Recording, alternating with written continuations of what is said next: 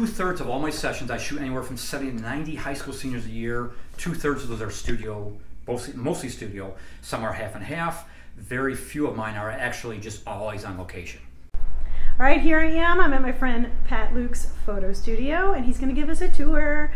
Uh, he's a studio photographer, and I am not. So I think you will really enjoy both this tour of his full studio and also this quick interview we're doing about how he's become so successful over the years. All right, and here we go.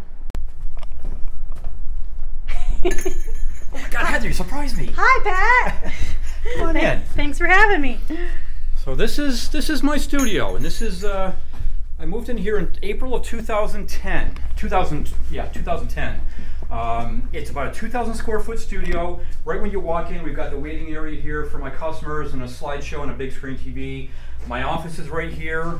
I've got a big custom built workstation there, which I do my packaging and storage and things like that.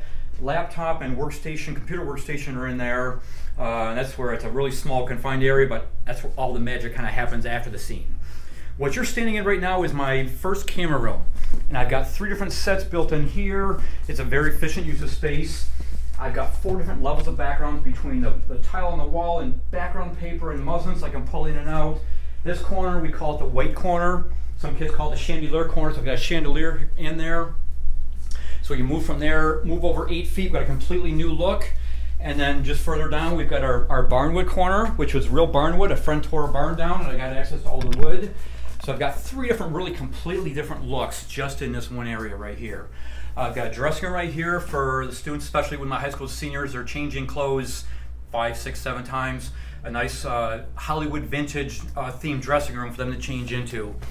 Uh, and and uh, so there's a there's a nice view of that. With a nice little subtle marketing right there. Sublime. Yeah, love it. All right. So that's our dress room, and again, we do a lot of our work in this first camera room. After the session, when people come back to actually take a look at the pictures, uh, we have our theater room here, and I do projection on the wall, and I have samples of all the work that I show, from composite prints to wall art to albums, Eh, and everything in between. So you you can't sell something if you don't show it. So if you're going into products for the first time, show your products, and if you want to sell the big products, show the big products. Which You can sell a 30 by 40 print by showing an 8 by 10. So how big is that screen? That's a 7 foot wide screen. It's nothing fancy, it's actually just the wall. This is just drywall and it's painted with white ceiling paint, which is flat.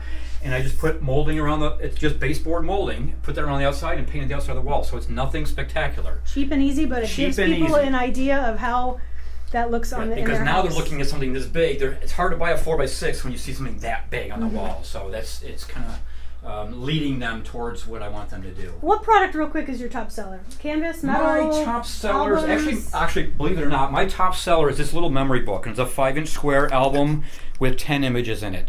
The reason it is because it can go mom and, mom's purse. She can take it with her and show everywhere, and so my logo and everything is always on this. So she can show people. That's by far the most popular product Wow. because it's mobile. Cool. She can take it with you, and then my higher price packages have uh, phone apps, which are digital on a phone, and that's that's become very popular too. Right.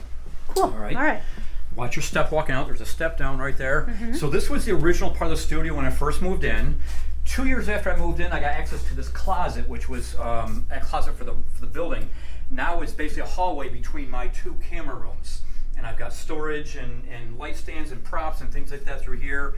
And then we walk through. Now we broke through this brick wall six years ago to expand into this part of the studio. And this part of the studio we call the Oh Wow room.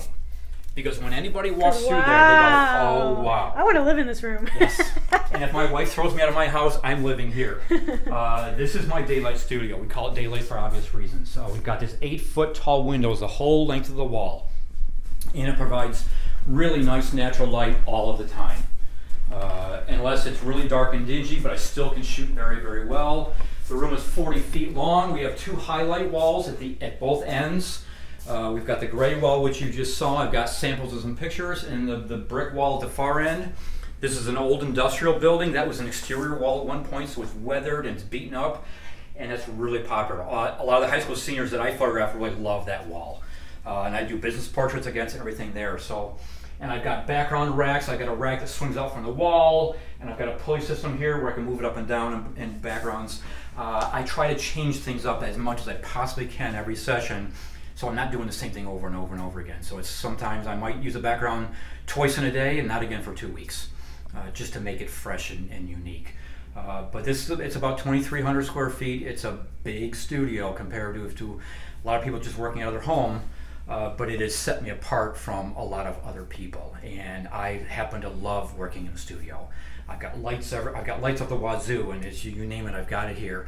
It's the style of photography I love doing, and it's different. So now I'm different, and people notice you because you're different and flexible too. And flexible too, because I, Yeah. I mean I work outside. We've got the Erie Canal, the historic Erie Canal, 25 feet past the building, the outside here. You can see it right there. There's the, the canal. That's a, a, a boat boating way. Uh, it's a walkway thousands of people walk through this on the weekends. So it's I've got access to that.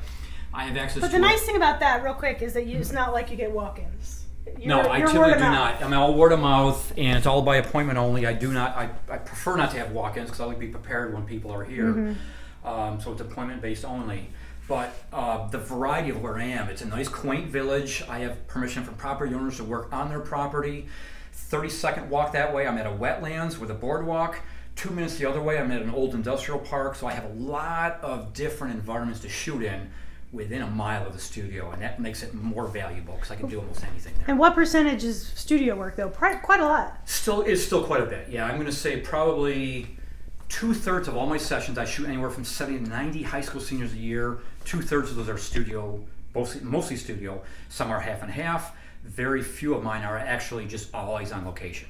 But I have you know four or five, six of those every year, always on location.